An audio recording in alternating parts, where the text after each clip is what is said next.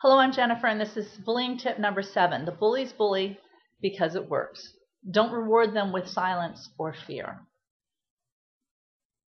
Bullies bully because it works. All right, they're doing it to gain control over the people. And the way to change, to stop bullying, is to change the dynamic between not just the bully and the victim, but also between the bullies and the bystanders as well.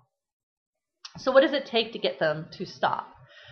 Being silent for either the victim or the bully, uh, the victim or the bystander doesn't work. It gives the bully approval for what they're doing. It tells them that's working. So you actually have to stand up and show the bully you're not afraid through your body language and your behavior and what you say.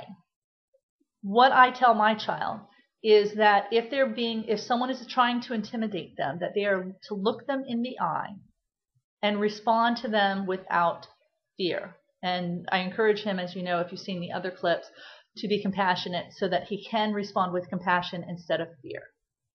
But it's absolutely critical that they look the bully in the eye and let the bully know that A, their behavior is not okay, B, they're not bothered by it, and that C, they're not going to tolerate it. So if they're being teased, they can say something like, Thank you very much for that information. It's very helpful. If they're being threatened with violence, the response to that is a very bored, If you do that, I'm going to report you. Just matter of fact, not in a mean way, just very matter of fact. Looking in the eye, if they can look in the eye, if they're a child that's on the spectrum who has problems making eye contact, maybe look at their hair, look at the wall behind them, but don't look down. Um, if they're actually a victim of violence, they need to report that each and every time not every once in a while, but every time. And that that will happen to them at some point. Bullies bully because it works, and it's and you're going to have to teach this to your child over and over and over again because they're they're going to deal with one bully and then they're going to get to another grade and there's a bully who's been bullying for two or three years that's going to try them out. So they're going to need to repeat these lessons over through the course of their life.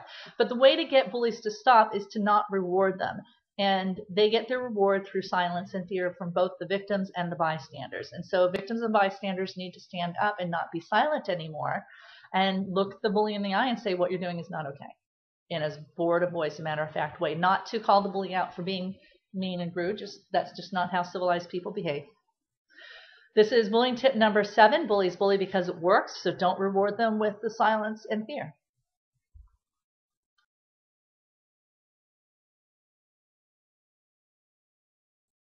I'm Jennifer Hancock, and if you found this information helpful, then I'd like you to click on the link below and join us at our Facebook community where you can join the discussion, learn more. And as always, when it comes to protecting children, you need to learn this information so that you can share it and then pass it on to others. Thanks.